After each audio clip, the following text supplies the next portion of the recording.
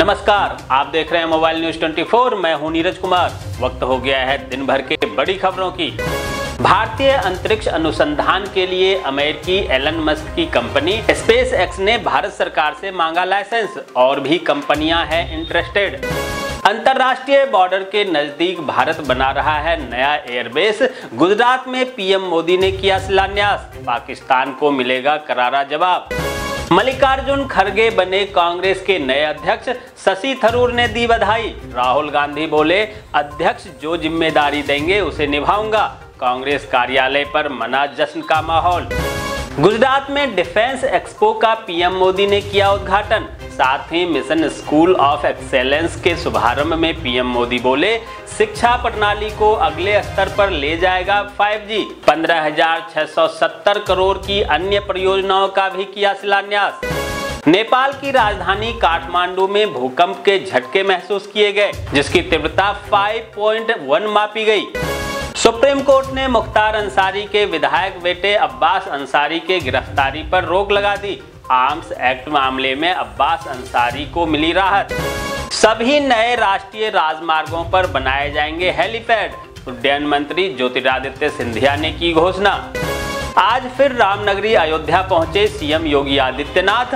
दीपोत्सव की तैयारियों का लिया जायजा, पीएम मोदी भी होंगे शामिल। बिहार के कई जिलों में आज भूकंप के झटके महसूस किए गए, जिसकी तीव्रता 5.1 मापी गई। दिल्ली में दीपावली पर वायु प्रदूषण से निपटने के लिए रणनीति तैयार की गई, जहाँ पर्यावरण मंत्री गोपाल राय ने कहा कि राजधानी में पटाखे फोड़ने वाले और खरीदने वाले पर दो सौ रुपए का जुर्माना और छह महीने की सजा हो सकती है। सिद्धू मूसेवाला मर्डर केस का आरोपी दीपक टीनू राजस्थान से किया गया गिरफ़्तार। पंजाब पुलिस की हिरासत से हुआ था फरार।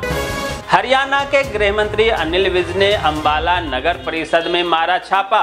तो पता चला कि पिछले दो वर्षों से स्ट्रीट लाइट को लेकर टेंडर जारी करने पर प्रतिबंध है। इस कारण कॉलोनी के लोग अंधेरे में रहने को बेबस हैं।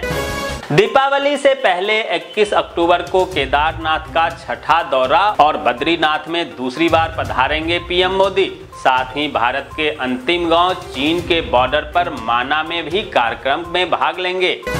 झारखंड के सीएम हेमंत सोरेन ने आज चतरा में 324 करोड़ की योजना का शिलान्यास किया। हिमाचल प्रदेश के सीएम जयराम ठाकुर ने कुल देवता का आशीर्वाद लेकर भरा पर्चा। जनता से बोले, सराज की ज़िम्मेदारी आप पर है। जम्मू कश्मीर में आतंकवादियों की बड़ी साजिश को सुरक्षा एजेंसियों ने किया नाकाम। हंदवारा लंगेट में लगाई गई आईईडी समय रहते किया गया निष्क्रिय। बंगाल में मवेशी तस्करी मामले में सीबीआई ने अनुव्रत मंडल के करीबी करीम खान से की पूछताछ। दिल्ली हाईकोर्ट ने शिवसेना को मसाल चुनाव चिन्ह आवंटित करने को लेकर समता पार्टी की याचिका को खारिज कर दिया, जिससे उद्धव गुट को मिली राहत। राजस्थान के जोधपुर में भ्रष्टाचार निरोधक ब्यूरो ने दो राजस्व अधिकारी को 25.31 लाख रुपए रिश्वत लेते गिरफ़्तार किया। कमल गट्टा अर्थात कमल के बीज और कमल की डंडी का सेवन सेहत के लिए काफ़ी फ़ायदेमंद साबित होता है।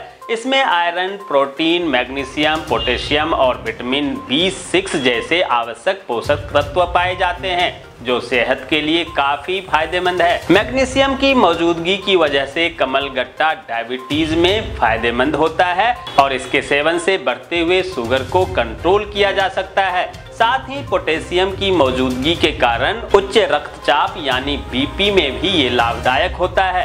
इसलिए इसका सेवन ज़रूर करना चाहिए। बैंक ऑफ़ बड़ौदा में आईटी प्रोफेशनल के 60 पदों पर भर्ती निकली है। उम्मीदवार आधिकारिक website Bank of Baroda dot in पर कैरियर सेक्शन के लिंक को क्लिक कर आवेदन कर सकते हैं। तो ये थी दिन भर की बड़ी खबरें। ऐसे ही खबरों से अपडेट रहने के लिए चैनल को सब्सक्राइब कीजिए, नोटिफिकेशन बेल को दबाइए, वीडियो को लाइक कीजिए और ज़्यादा से ज़्यादा शेयर कीजिए ताकि देश और दुनिया के तमाम खबरों से आप और आपके जानने वाले रह सकें अपडेट।